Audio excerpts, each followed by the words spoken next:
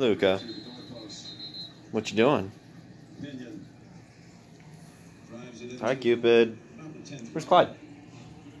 The Diablo. Where's Clyde? Clyde's around here somewhere.